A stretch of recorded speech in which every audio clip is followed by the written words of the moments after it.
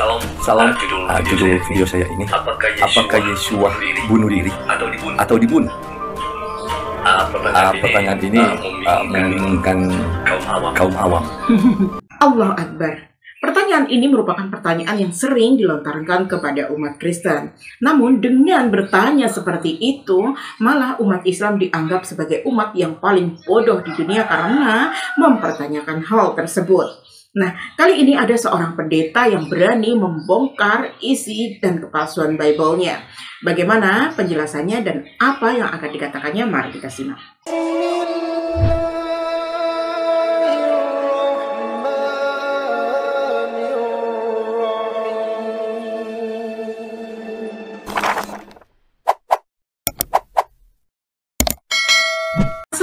Assalamualaikum warahmatullahi wabarakatuh Sahabat official apa kabarnya?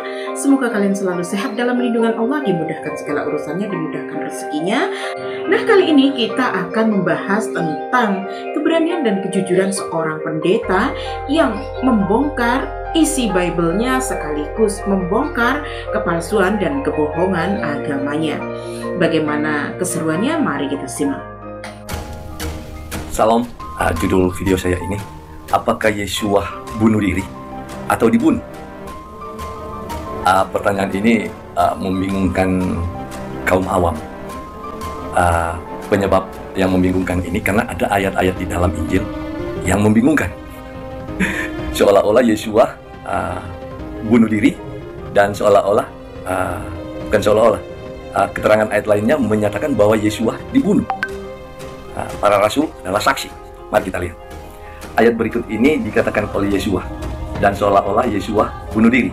Itu terdapat di dalam uh, Yohanes 10 ayat 17 dan 18. Yesua katakan begini, Bapa mengasihi aku, oleh karena aku memberikan nyawaku untuk menerimanya kembali. Tidak seorang pun mengambilnya daripadaku, melainkan aku memberikan memberikannya menurut kehendakku sendiri. Aku berkuasa memberikannya dan berkuasa mengambilnya kembali. Inilah tugas yang kuterima dari Bapa. Jadi ayat ini uh, terkesan Yesua bunuh diri. Karena Yesua menyerahkan nyawanya kepada Bapa. Itu namanya bunuh diri.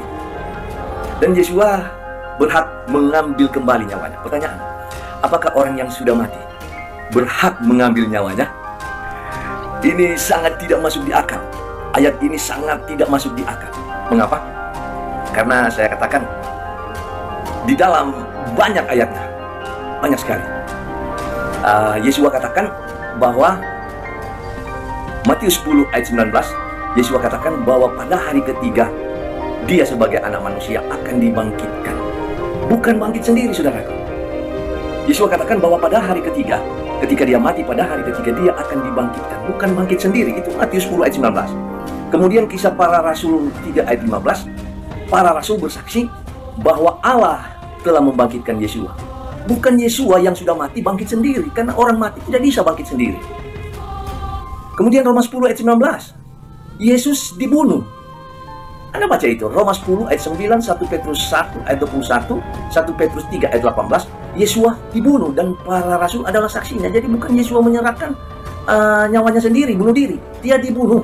Mana nih orang-orang Kristen, jangan lupa ya kalian wajib subscribe channel Rosalba Official ini ya. Islam mempelajari kitab kalian itu bukan bertujuan untuk menghancurkan atau menghinakan kalian, tetapi ingin memperlihatkan fakta-fakta bahwa ada ketidakberesan dalam kitab yang kalian imani. Jika umat Islam berbicara pasal-pasal dalam kitab kalian, bukan karena kami benci maksudnya. Sekarang pendetamu sendiri saja berkata, Malah kalian katakan bid'ah. Padahal kita sama-sama diberi akal untuk dapat memahami sebuah ayat yang tertulis dan untuk kita mengerti. Contohnya, pendeta ini yang memberi dua pilihan mana yang benar, apakah Yesus dibunuh atau Yesus bunuh diri menurut versi Bible, bukan menurut versi Al-Quran ya tentunya. Mari kita lanjutkan supaya di akhir video kami akan menunjukkan jawaban yang sebenarnya. Kemudian di kisah para rasul 2 ayat 5 ayat 30 para rasul bersaksi bahwa Yesus dibunuh.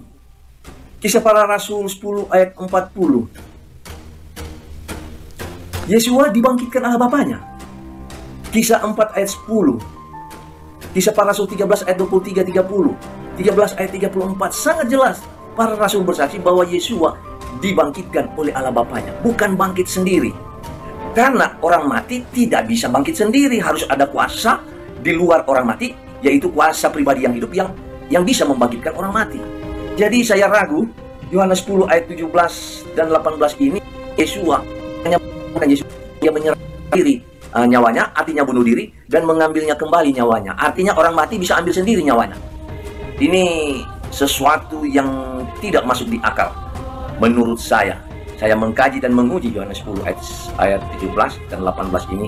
Saya ragu ya. Ada postingan saya tentang uh, postingan sebelum ini ya. Sebelum ini ada lagi sebelumnya.